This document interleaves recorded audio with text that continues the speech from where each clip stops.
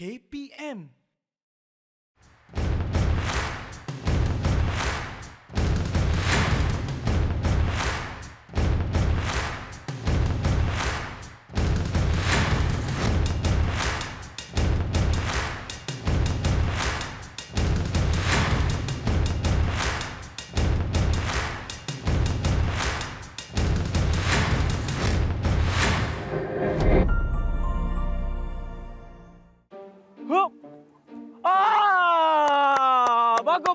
Bagus, bagus, bagus. Ha, macam ni lah Cik Guna awak lompat. Ha, jangan kasih palang ni jatuh. Kan Cik Guna ajar awak. Bila lompat tu, lompat dengan apa? Penuh kasih sayang. Ha, senyum tu tak ada. Tadi muka masam je. Aduh, okey macam ni. Ah, cikgu akan naikkan palang ni sampai dalam empat kaki. Boleh buat?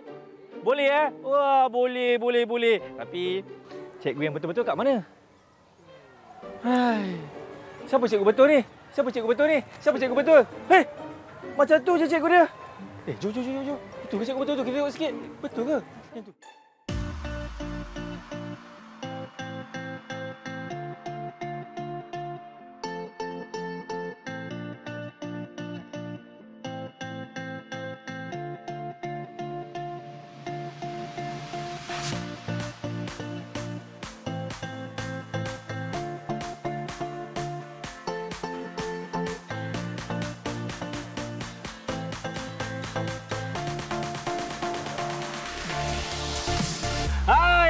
Assalamualaikum. Salam sejahtera. What's up everybody? Saya Akmal Nazri. Selamat datang ke Sukan di Didik TV KPM. Saya lah atlet lompat galah yang paling galah sekali. Ah, saya pasti anda semua dah tahu dah kan? Eh, jurulatih tu macam saya kenal lah. Ha, inilah dia tak lain tak bukan. Kita ada Cikgu Putri. Hai. Wah, Cikgu Putri, saya pasti murid-murid dah tahu dah. Kalau kita nampak ada tilam kat belakang, ada palang ni, ada apa lagi Cikgu? Oh, ada uh, tiang. Ada tiang, ada cikgunya juga. Inilah sukan lompat tinggi yang akan kita belajar. Macam mana nak jadi atlet lompat tinggi yang profesional, berjaya dan terbaik. Betul Cikgu Putri? Betul. Tapi InsyaAllah. sebelum tu Cikgu Putri, saya sebenarnya nak tahulah sejarah sedikit lah kan mengenai lompat tinggi ni kan. Okey, uh, sukan lompat tinggi ni diperkenalkan pada tahun 1880-an. Oh, Oh, lagi lama daripada sebelum tahun 1900-an. Ya, betul. Wah. Okay. Pada waktu tu lompat tinggi ni uh, tak menggunakan tilam pun. Hai. Ah, Habis guna atlet apa? dulu dia lompat di atas padang. Landing di atas padang. Ha, sebab zaman dulu tak ada uh, teknik flop tu belum ada lagi. Oh. Ah, mostly dia orang lompat lebih kepada lompatan Caesar. Lompatan Ah, Caesar. Okey, kejap lagi kita akan tahulah apa itu lompatan Caesar kan. Okey, Okey. dulu memang tak pakai tilam. Tak, tak memang pakai orang kata landing ke atas padang. Yes, betul. Okey. Alright. Uh, pada tahun se, uh, 1890 Hmm. enam. Ah. Ha, pada tahun 1896 Mhm. uh, sukan lompat tinggi ni dibawa ke uh, sukan Olimpik. Uh, pada ketika itulah waktu wa- pada ketika itulah wujud gaya baru iaitu flop. Uh, Flop. yang kita uh, waktu itulah kita guna tilam. Oh, Ah. Okey. Saya rasa saya lebih memilih untuk kita landing di atas tilam cikgu kan. Ya, betul. Tapi saya pasti cikgu, mungkin ramai orang tanya, "Eh, Cikgu Putri ni betul ke atlet lompat tinggi cikgu? Baik tahu kat diorang sikit cikgu, ada yang tak percaya tu cikgu." Okey, hai. Saya bekas atlet lompat tinggi Ah. bersekolah di Sekolah Sukan Bukit Jalil. Uh, apa lagi cikgu boleh kongsikan mengenai sejarah lompat tinggi? Mungkin terutamanya di negara kita cikgu? Dekat negara kita ni ada uh, seorang atlet lompat tinggi lelaki yang pernah mewakili Malaysia ke Sukan Olimpik pada Betul. tahun 2020. Ya. Kenal tak? Siapa? Kenal cikgu. Okey. Ah, tanya nama, tanya nama. Okey, siapa atlet tersebut? Ah, nama dia uh, Akmal Akm, Akmal Akmal bin Bob nama dia. ah, ya ke? Uh, okey. Ah, apa tu? Oh, terus tepuk dada bukan maksudnya. Okey, bukan. Okey. Ha. Atlet tu adalah Lee Hapway. Lee Hapway, Ah, okey. betul. Pada uh, pada ketika tu dia mewakili Malaysia uh, pergi ke Sukan Olimpik dan dia buat catatan lompatan 2.17 meter. Itu dah pecah rekod kebangsaan betul? Uh, waktu Aha. tu bukan. Belum lagi? Bukan sebab pencapaian terbaik dia adalah 229 meter. Ah itu rekod kebangsaan kita. 229 meter. meter. Cikgu, macam cikgu punya personal record lah kan. Berapa cikgu ketinggian? Berapa meter Okey. cikgu? Uh, saya pernah melepasi ketinggian 171 meter. 171 meter. Tinggi saya lah cikgu. Ah lebih kurang. Oh, ah, saya 71 ke? Ah, saya 71.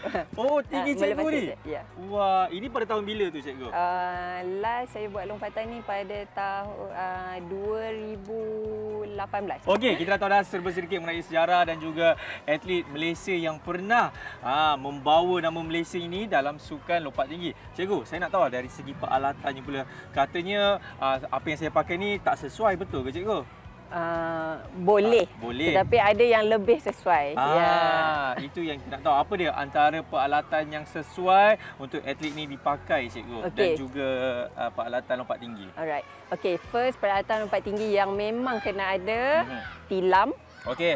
tilam, Mhm. palang lompat tinggi. Okay, Palang, ini kita ke belakang. adalah palang. Ini palang Okey. lompat tinggi. Okay. Tiang yang kukuh. Ti tiang yang kukuh. Yes, tiang Okey. yang kukuh. Aha. Pita ukur. Okey, pita ukur tu adalah untuk kita ukur ketinggian ni. Oh. Biasanya selepas dah dinaikkan, kita akan ukur sama Oh. ada betul tak ketinggian tu. Baik. Cikgu, dari segi ukuran tu, dia bukan ada yang dekat tiang tu pun dia dah tunjuk ke cikgu? Ada, ada. Kalau kita tengok uh, dia berada kat sebelah dalam ni dia ada tulis berapa meter berapa meter. Oh. Tapi kadang-kadang sebelah tepi ni lebih tinggi berbanding tengah. Oh, sebab tu kita kena pakai juga secara yang manual. Ya, betul. Ah. Sebab normally atlet akan lari lompat di tengah. Apa lagi cikgu Ha. selain daripada itu? Lepas tu kita perlukan bendera. Ha. Okey, ada tiga bendera. Ya, cikgu dah tunggu situ cikgu. Saya pergi ambil. Ah. Cikgu, cikgu. Ah, ini dia.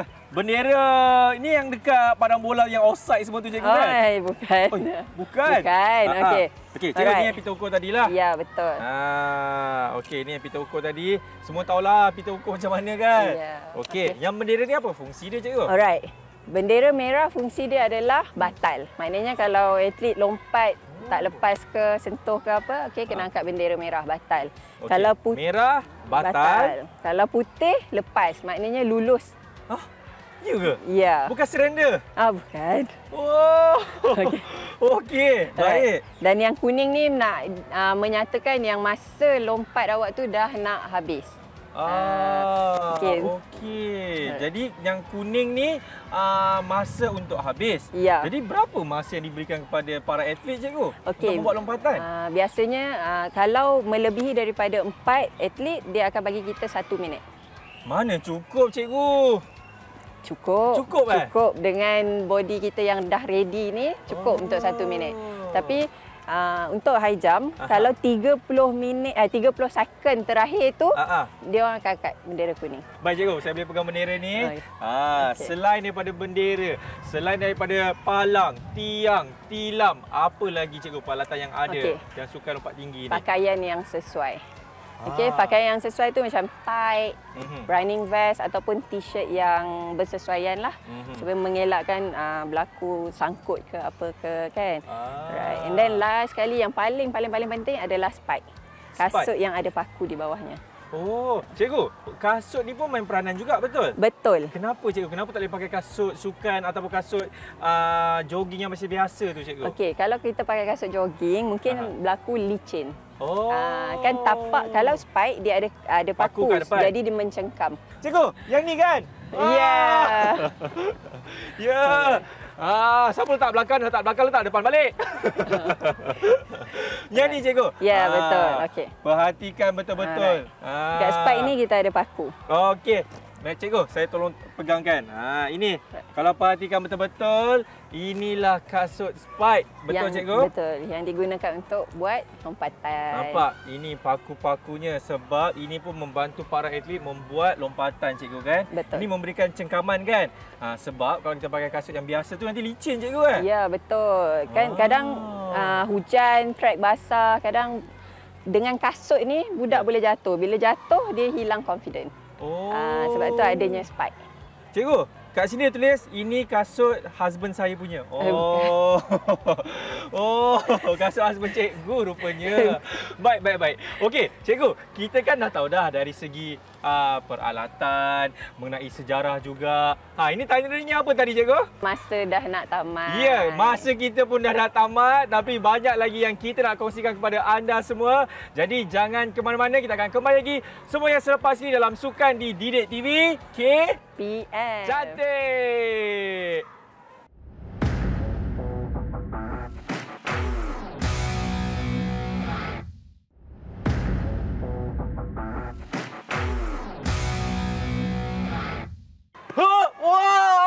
Aduh.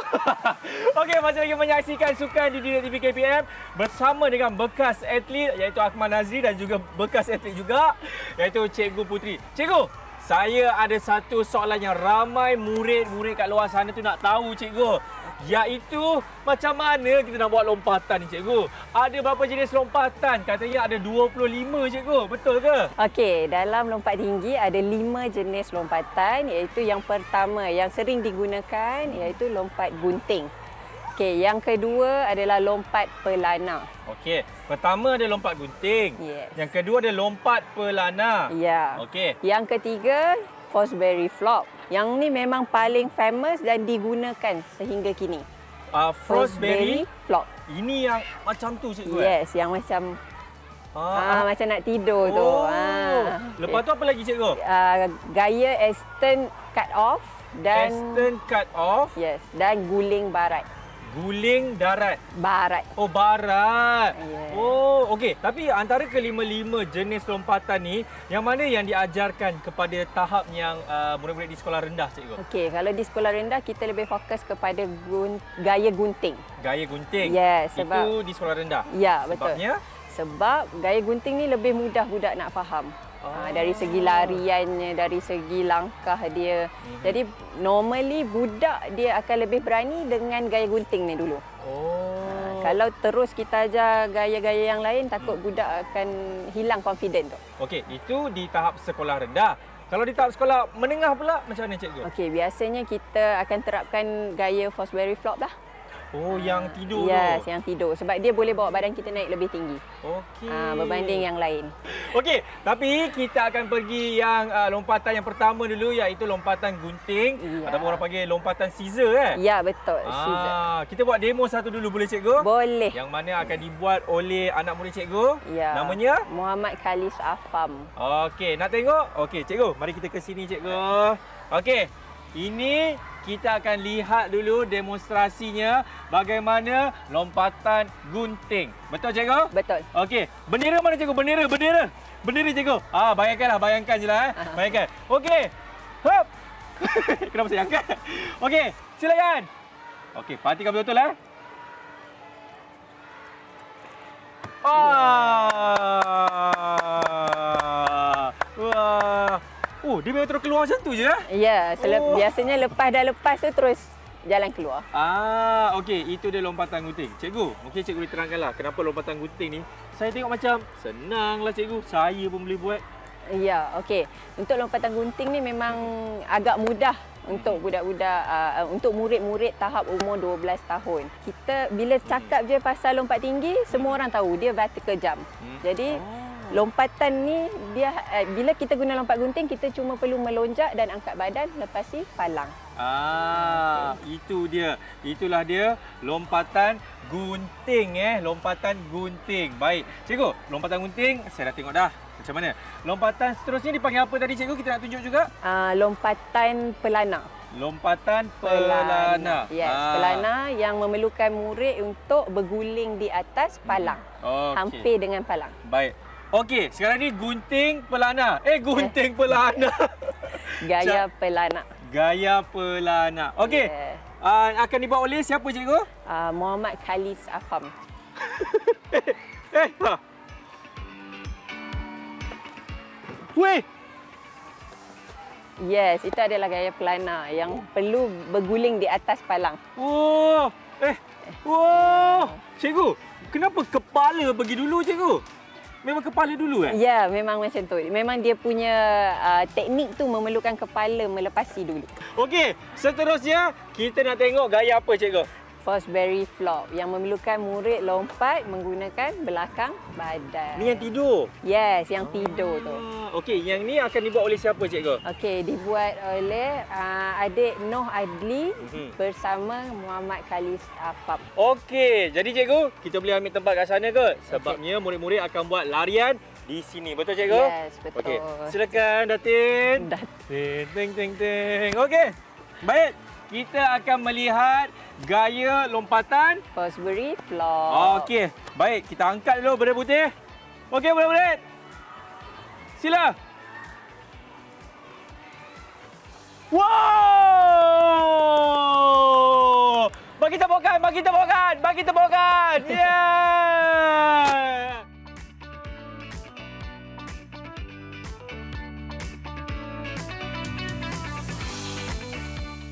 Okey, lagi seorang atlet betul cikgu? Betul. Okey.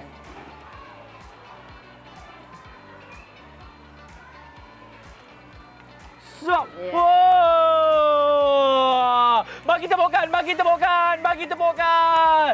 Ha, cikgu, inilah gaya yang sering kali saya tengok ah, dekat sukan-sukan Olimpik, sukan-sukan dunia yang mana atlet lompat tinggi buat yang ni lah cikgu. Betul. Oh, itulah dipanggil gaya Fosbury Flop. Yes. Tapi cikgu, kenapa dia panggil Fosbury Flop? Okey, untuk pengetahuan semua, sebenarnya Fosbury flop ni adalah uh, peserta yang mencipta uh, teknik lompatan tu. Okey, nama peserta tu adalah Dick Fosbury. Oh.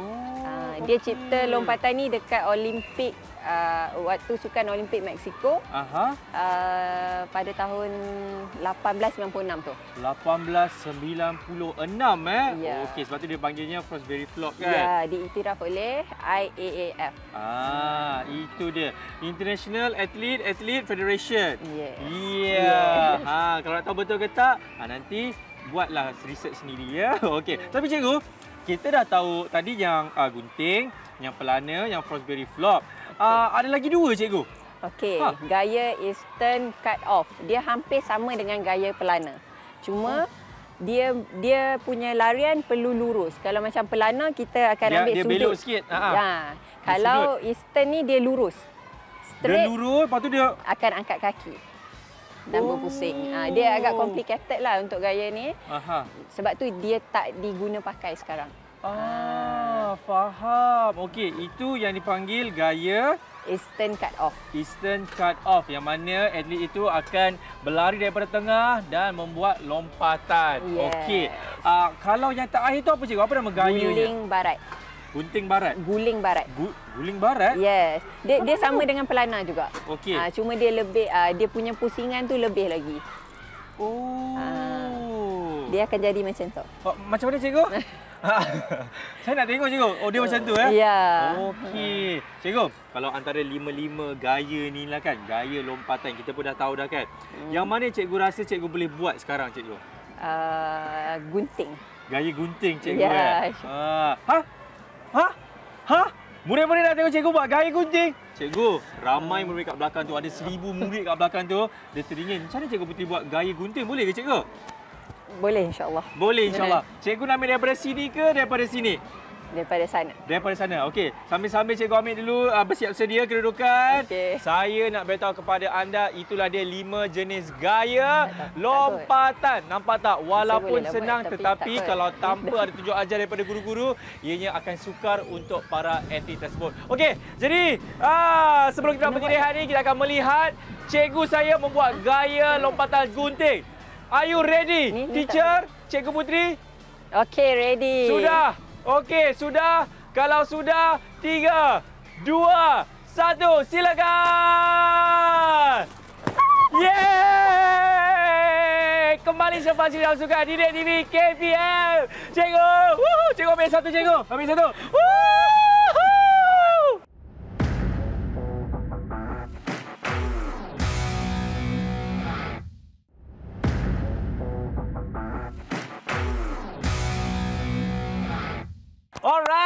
Cikgu tepuk tangan cikgu. Sebab saya cukup teruja bila cikgu dapat buat tadi cikgu guys. Sebelum kita berhenti rehat, cikgu memang terbaik lah. Katanya terakhir kali, oh terakhir kali eh, membuat lompatan gunting pada tahun 2019. Tapi nampak secara eksklusif untuk anda sukan didik, uh, didik TV KPM cikgu buat untuk mereka semua. Wah, tahniah cikgu. Okey, masih lagi menyaksikan sukan di Didik TV KPM dan sekarang ini saya nak tahu teknik ha, lompatan gunting. Ini kita akan pergi lagi lebih terperinci betul cikgu? Okey, betul. Ha, macam mana mereka lompat bila nak buka kaki tu? Nak pakai gunting apa? Gunting dapur ke gunting kertas ke cikgu kan? Ya. Ya. Yeah. cikgu macam tak melayan uh, saya punya kelakar cikgu tak kelakar. Okey, cikgu. Jom kita macam mana cikgu? Okey, alright. First kita try buat uh, lompatan gunting. Mhm. Benda utama yang kita kena titik beratkan adalah larian. Okey. Uh, boleh kita terus dengan contoh larian? Boleh. Baik, Okey. saya uh, akan ambil kedudukan di sini. Boleh Alright, boleh saya lintas ke sana? Silakan cikgu Putri. Okey. Alright. Kita tengok dulu. Alright, lari take off. Lari take off namanya. Yes, Okey. lari take off. Okey, ini dia kalau dapat tengok. Satu, dua, tiga. Ha, lari dia, dia take off dan dia akan yes. buat. Yes, okey. Oh. Ha, itu kita panggil lari take off. Okey. Kalau dapat kuasai Hmm. fasa ini, Mhm. insya-Allah dia boleh lompat dengan baik. Oh, Yes. cikgu, dari segi lari take off tu, ha sambil-sambil tu para atlet kita pun boleh buat juga lari dan take off tersebut. Cuma saya nak tahu dari segi kiraan langkahnya, dari segi kelajuannya kena uh, perlahan tu perlahan macam mana cikgu? Okey, perlahan dia uh, jangan terlalu perlahan, jangan terlalu laju. Ah. Uh, dia di, di di orang kata apa di tengah-tengah. Baik, dan kalau saya dapat lihat murid pun dia ada menandakan dekat Ya. bawah tu. Itu untuk apa cikgu? Okey, itu adalah penandaan permulaan larian supaya nanti bila sampai di sini tak adalah uh, take off tersasar. Okey. Uh, ataupun hilang hilang run up. Bila hilang run up memang murid tak dapat lompat. Jadi selalunya uh, berapa langkah tu cikgu? Mungkin 7, 8, 5 ke 7 untuk sekolah rendah. 5 hingga 7 langkah. Ya, betul. Ah, okey boleh silakan. Ah, adik Noh kita. Itu dia. Ini lari dan take off kan? Yes. Okey, lagi sekali kita akan melihat lari dan take off nampak tak? Ha, adik kita tadi dia mengambil jarak, mengambil langkah dan dia pun tak adanya terburu-buru betul cikgu? Ya, betul. Okey, jadi lari take off check. Yes. Seterusnya. Okey, dekat mana kita nak kena take off, Hmm. itu adalah salah satu uh, perkara penting. Hmm. Okey. Kadang-kadang kalau kita tengok murid-murid ni dia suka take off di tengah-tengah. Okey, kalau take off di tengah dia akan lompat di hujung. Maknanya dia akan jatuh di atas track. So sebab tu kalau kita adjust kita punya larian, kita akan take off di tempat yang di mana Noh dan Kalis uh, take off tadi. So bila dia lompat di situ dia akan jatuh di tengah. Okey, mungkin kalian boleh tunjukkan take off tu dekat mana? Ah, okey. Ini lari dan take off tadi lari kan? dan lonjak. Saya Okey, nak lari tengok awak dan punya lonjak. lompat tu. Okey. Silakan Kalis sebab saya nak tengok waktu take off tu kan tadi cikgu ada cakap jangan kat tengah-tengah kan? Ya. Ha, okey, silakan.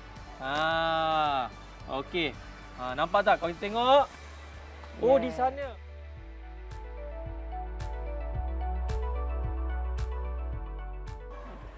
Jangan terlalu hampir sebab bila terlalu hampir tak sempat badan naik Ha. mesti akan bersentuh dengan palang. So kalau sentuh jatuh akan jadi satu uh, kerugian lah pada atlet tu. Okey, baik. Ah, itu dia. Jadi lari tadi pun ambil jarak, saya dah tahu dah. Take off pun jangan dekat tengah-tengah, nanti akan tersasar. Yes. Kita kena ambil yang di tepi tiang lah. Ya betul. Oh, okey. Apa lagi cikgu? Waktu nak lompat yang kaki tu cikgu. Yang nak bersilang-silang tu cikgu. Oh okey. Uh, biasanya kalau murid ambil up di sebelah sana, larian di sebelah sana, Ha. biasanya di sini kaki kanan yang akan melonjak. Ah, Kaki kanan? Kanan lonjak, kaki kiri akan angkat melepasi palang. Baru diikuti dengan kaki kanan. Tapi kalau contohlah, saya murid yang kaki kidal. Sebelah sini. Ah. Ah, dia akan berubah uh, tempat larian lah. Dia akan datang ke sebelah kanan. Okey. Ah. Cikgu, kalau saya nak tengok diorang buat tu, diorang dah take off dan dia lompat kaki kanan tu dulu boleh cikgu? Ah, ya, ya, ya. Tu. Ah, ya, boleh? ya. Boleh. Okey. Silakan Kalis. Ah, ini buat je lompat terus. Ha, okey, perhatikan betul-betul tadi kita dah belajar bagaimana dia ambil langkah. Lepas tu bila dia berlari pun uh, tidak laju cikgu Ya, kan. Berhati-hati. Yes. dia take off dan dia buka lipatan kaki tu. Betul. Okey, silakan. Yes. Oh. Dia langkah macam gunting. Okey, baik. Ui, nampak sebenarnya senang cikgu kan? Ya. Tapi dia memerlukan latihan lah. Ya, betul. Ah, boleh tapi- ha? cuba? Ikmal boleh cuba lompat? cikgu, saya minta masa terbatuk cikgu. Ah, cikgu, okey. Sebelum saya nak buat lompat ni lah kan. Ya. Apa antara kesilapan? Walaupun kesilapan ni nampak mudah tapi boleh mencederakan atlet tersebut.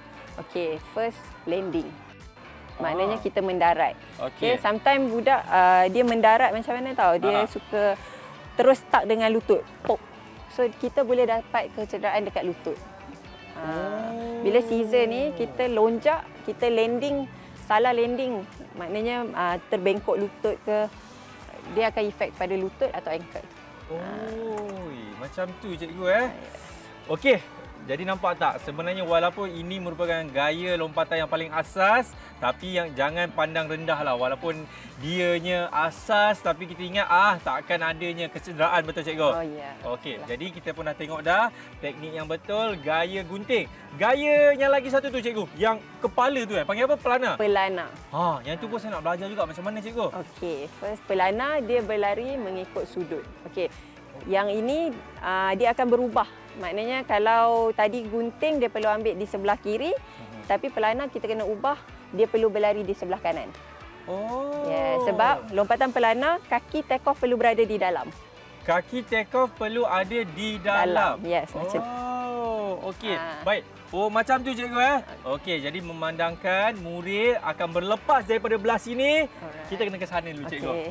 Ha, untuk mengelakkan kejadian yang tidak diingini berlaku ya. Okey, baik cikgu.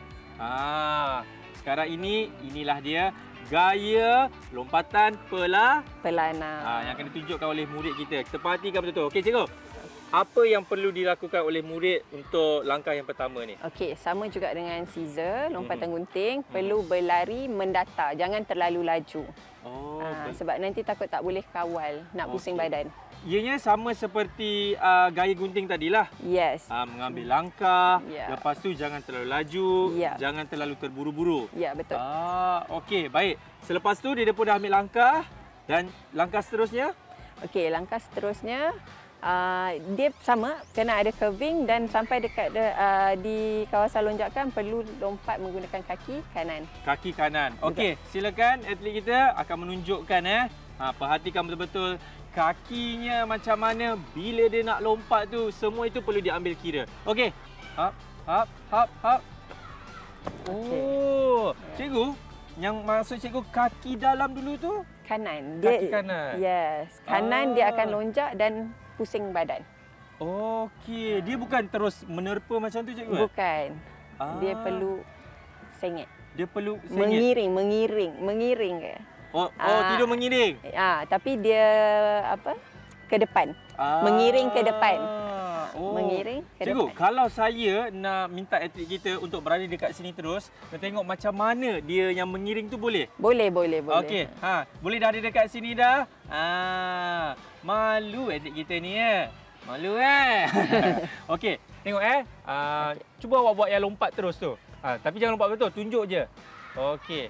Nampak kaki dia? Oh. Okey, ya. Itulah maksudnya. Ya, betul. Okey, lagi sekali. Okey, buat perlahan-lahan. Okey. Oh. Dia melayang. Oh, dia bukan terus menerpa macam tu Bukan. juga. Bukan. Ah, itulah maksudnya. Ya. Wah, okey. Tapi macam ni cikgu, macam tadi kita dah tahu dah antara kecederaan yang sering dialami oleh atlet kita kan yang mana Ya. dia selalu buat waktu gaya gunting. Okey. Kalau yang ni pula cikgu, apa yang uh, perkara-perkara yang boleh menyebabkan atlet itu juga mengalami kecederaan cikgu? Okey, okey untuk pelana ni uh, risiko dia agak tinggi lah. Okey. Bila budak lompat dia perlu pusing badan. So kadang-kadang bila lompat tak sempat pusing badan, Hmm. dia dah tertarik palang. So sometimes budak jatuh atas palang. Okey, Oh. uh, kena kepala. So benda-benda yang macam tu lah agak bahaya. Landing tangan Aha. Boleh, Oh, ah. okey. Baik, cikgu. Khas untuk anda semua. Tidak pernah dibuat sambil juga uh, ibu bapa saya pun tak pernah tengok saya buat lompat gunting ni. Yes. Sebelum kita berhenti rehat, saya akan tunjukkan kepakaran saya lompatan gunting. Ah, ah, Okey. tak nak cikgu, diorang tak nak lah cikgu.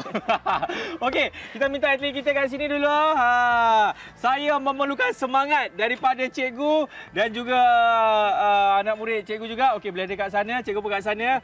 Saya akan menunjukkan cara lompatan gunting. Sini.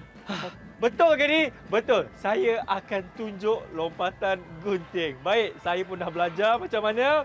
Kita lihat betul-betul. Ingat, yang paling penting kaki kanan dulu. Betul cikgu? Betul. Okey, cikgu dan juga murid-murid bagilah tepukan sikit.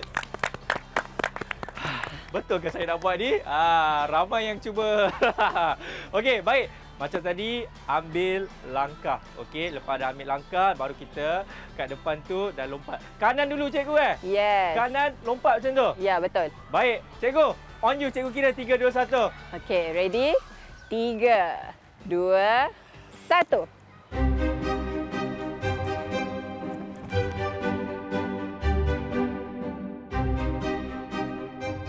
Kita pun rehat pasti dalam sukan Didik TV KPM.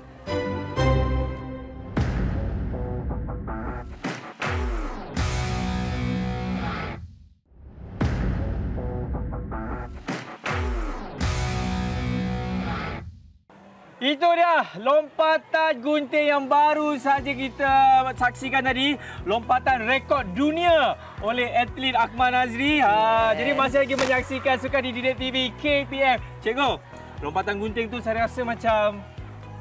Easy, eh, easy. Okey, cikgu, saya sekarang nak belajar lompatan yang cukup terkenal di kalangan atlet-atlet lompat tinggi iaitu Force Beauty Flop. Ya. Ha, betul. silakan cikgu macam mana? Okey, untuk first berry flop ni, Hmm. satu, yang paling penting mental. Mental. Yes, kena berani. Okey, berani Ah. tu saya dah ada. Okey, sebab kita nak turn badan tu kan. Okey, yang kedua, kita kena ada step yang betul. Step yang betul eh. yes, saya ingat Oh. lagi cikgu saya, cikgu uh, cikgu Man Saha, dia ada pesan, Mhm. lompat tinggi ni satu je yang kita kena jaga adalah run Ah. Kalau run up kita salah, kita takkan boleh lompat. Jadi run up tu sebenarnya macam mana uh, teknik dia cikgu?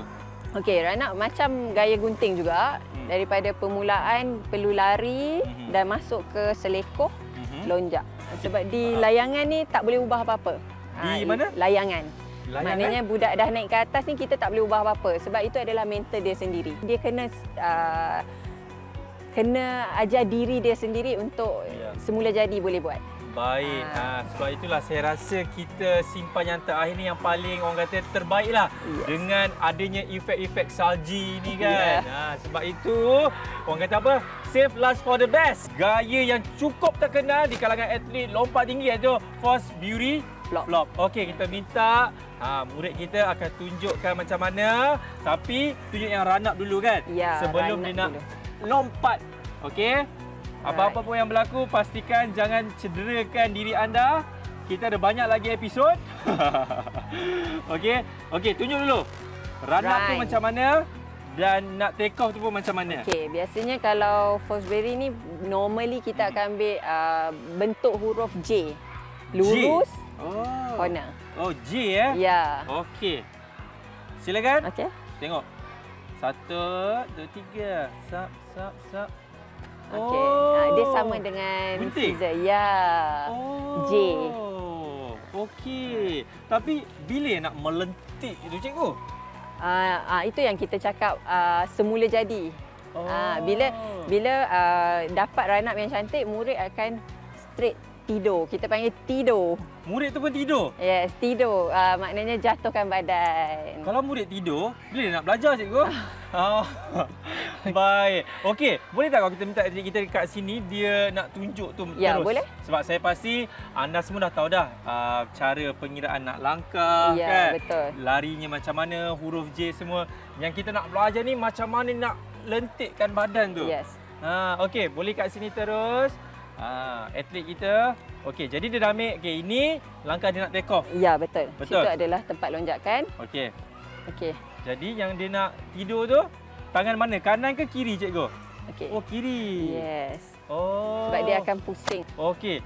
Dia okey, kan dia keluar tangan kiri. Ya. Lepas tu saya pernah tengok yang badan dia pun macam dia naikkan sikit tu cikgu. Ya, uh, bila bila kita angkat tangan, Ha ah. automatik badan kita akan ash. Oh. Uh, kan berlaku lentikan tu. Lentik kan? Ya. Okey, baik. Jadi boleh tak kalau saya nak tengok yang dia buat sampai habis? Yes, boleh. Okey, boleh ke? Alright, okey. Tapi berhati-hati eh. Okey, silakan. Jadi perhatikan murid-murid, ini dia uh, gaya lompatan force beauty flop eh. Ya, betul. Ah, perhatikan langkahnya, kakinya, tangannya dan lentikannya tu. Okey. Baik, anytime. Silakan. Sap, sap, sap, sap, sap. Dan tu. Ah, kenapa nak? Nak kenapa nak? Salah step. Okey, ah biasa. Ha nampak tak? Kadang-kadang murid pun boleh tahu kan? Ya, Dia betul. salah step macam mana. Ah, okey. Tak apa tak apa tak apa. Kita mungkin kita minta yang lagi satu tu cikgu boleh? Okey, eh. no. Ah. Okey, silakan. No. Ah, ambil nafas. Tenang. Okey. Okey. Cikgu, lembut je eh? Ya, biasanya lembut. Tapi kenapa saya pernah tengok ada murid dia macam, "Ui, dengan dia tolak ni dulu, dengan ni ni pergi terbang ni terus." Tu sebab apa Okey. cikgu? Tu kadang-kadang uh, tak confident. Bila tak confident dia tolak. Rugi. Rugilah untuk untuk uh, high jumper ni dia akan cakap benda tu adalah satu kerugian lah. Okey. Uh, sebab high jump ada tiga kali lompatan. Kalau lompatan pertama pun dia dah tolak palang, so Aha. jadi rugilah untuk sebab apa kita akan count back untuk kira pemenang. Oh. Ah, jadi kalau boleh Okey. lompatan pertama tu adalah lompatan yang lepas lah. Yang lepas. Ah. Tapi cikgu mungkin cikgu boleh kongsikan jugalah kan. Kalau palang ni dah tinggi 170, Okey. 180 kan. Lompatan pun mesti lagi kena besar betul? Ya, betul. Ha, jadi tu macam mana pula teknik ni cikgu? Sama.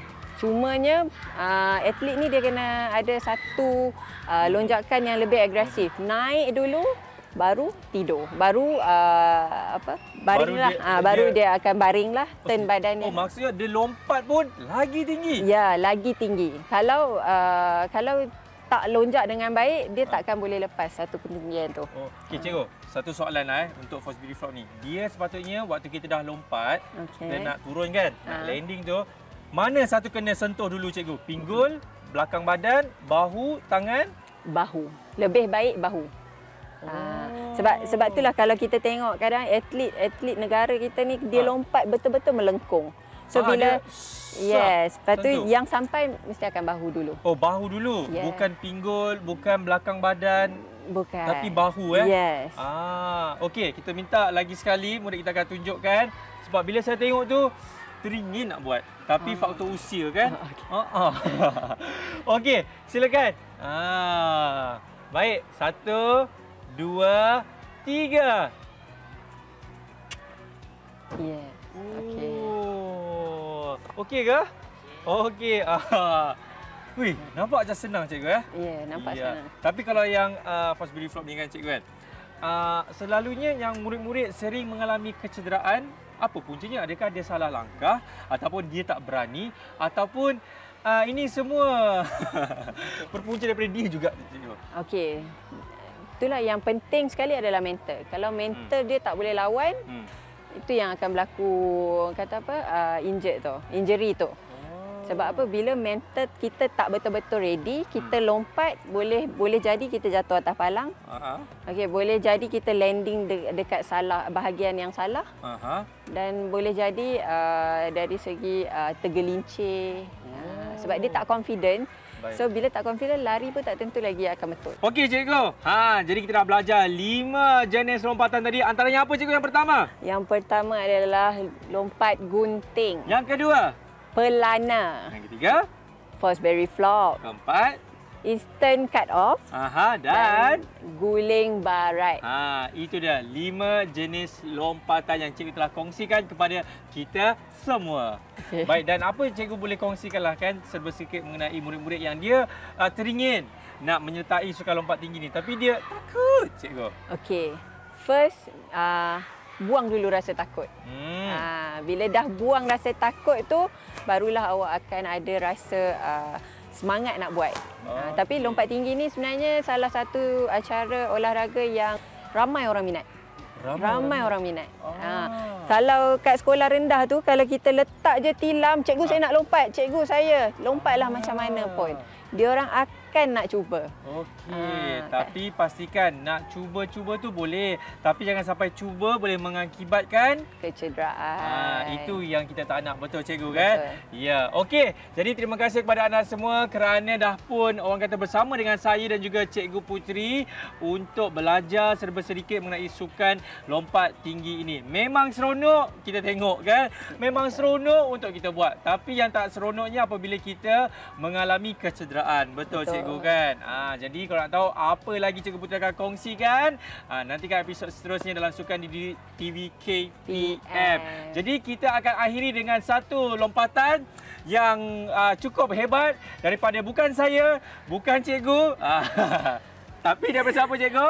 Daripada Ha, Anak-anak atlet muda. cikgu sendiri iaitu pastikan betul Gaya Frostbury Vlog. yang terakhir untuk kali ini. Okey, silakan. Ya, jumpa lagi. Assalamualaikum. Bye